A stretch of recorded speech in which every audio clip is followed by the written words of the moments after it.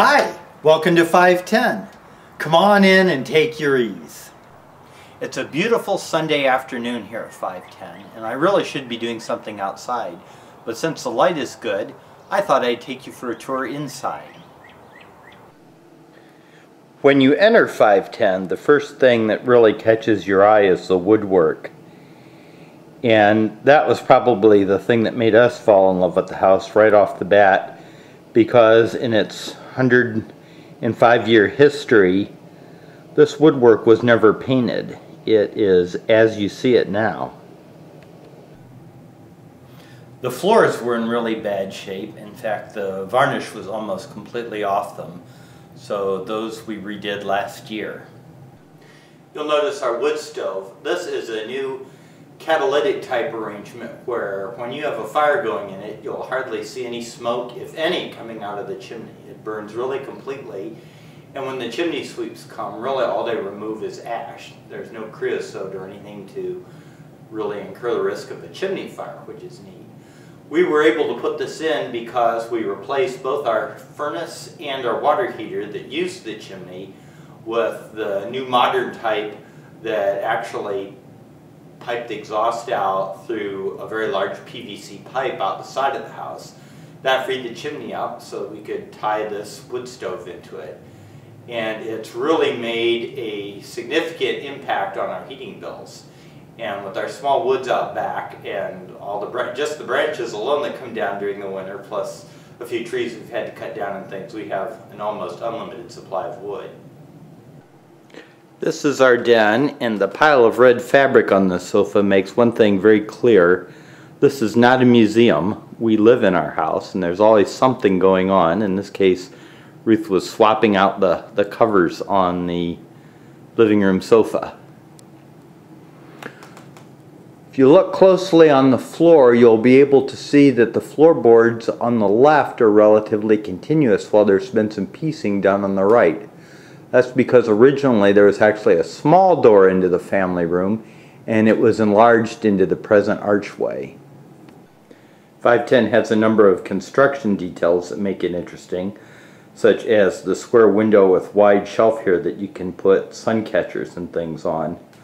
Also because our two children are artists, there are a variety of artifacts around the house, such as this one called Shelter and it has quite a story of its own that I'll have to tell another time.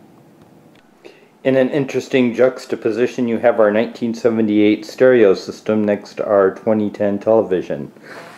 Now let's go through the back hallway and into the kitchen, which I've featured in other videos. The interesting thing about this kitchen is it uh, appears to be a, kind of a large farmer kitchen, but that's now not how it was built at all. Before the former owner remodeled it in 1994, this was actually a series of smaller rooms. This corner over here was actually a laundry room, and the kitchen was largely to this side. And the nook that you see kind of behind me was a breakfast nook with a built-in table and chairs. Right here was another chimney that no longer sticks out of the roof. It just stops up in the attic. That was where the cook stove hooked in. On this side there is a pantry behind this wall and my wife's workstation but in the beginning that whole area was a much larger walk-in pantry. And now for another cool feature of this house. Behind this appliance storage area is a pass-through to the dining room. The dining room has these lovely built-in cabinets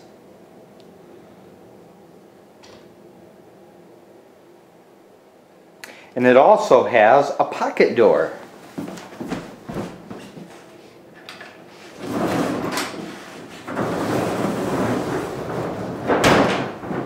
Ta-da!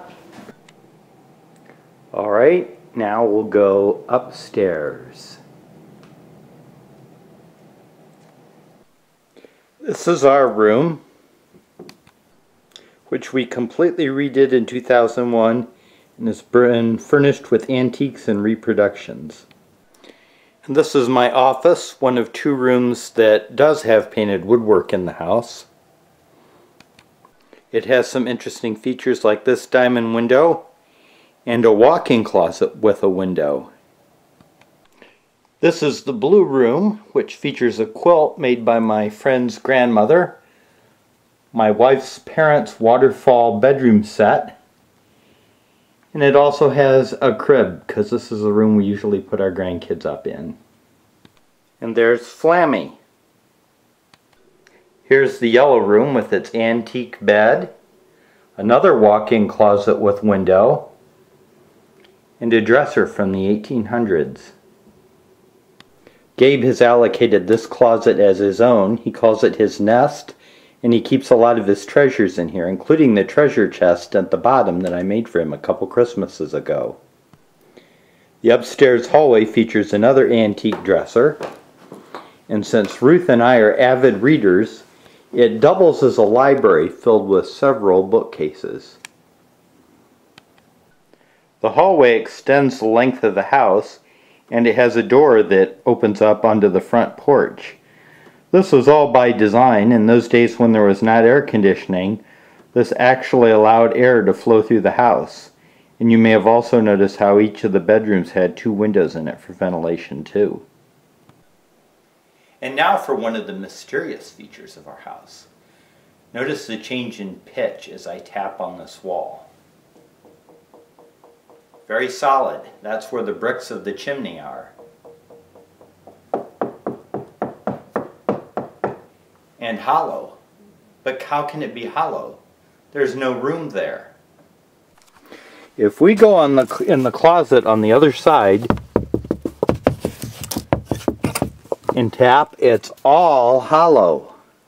Not only that, but notice how the walls in the hallways zig and zag, and yet all the rooms and closets on the other side are completely square.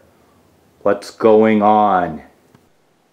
Most of the people who owned this house throughout the 20th century were fairly well-to-do, yet they all lived very modest lives. What happened to all their money?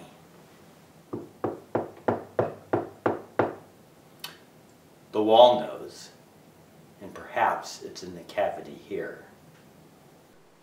Originally, this area upstairs was just a hallway or perhaps a storage area and then at some point in the past it was turned into a half bath and the wall was where I'm standing now. We pushed that wall out into my office and added a surround shower. In comic strips and old movies you often see these huge old attics just loaded with all kinds of stuff and ours is no exception in that respect. The only thing we really lack is the ubiquitous dress dummy. This is one of my favorite paintings in the house. It's a self-portrait of our son Nate, and the writing on his book says, Happiness is not a fish that you can catch. And no hundred-year-old house would be complete without a leaky, musty, dark, scary cellar. This is the root cellar part of our house. Here's my workshop and the laundry room beyond. Once the house had a massive coal furnace which was round, you can faintly see its outline that it fills the whole picture here. And the last cool feature, this door, which has a stairway that leads outside. So that's our tour of the inside of 510. Should you be a robber and using this video as a basis for robbing our house, please note that the only thing we have that's really worth anything is our television. Everything else is old and outdated, including me.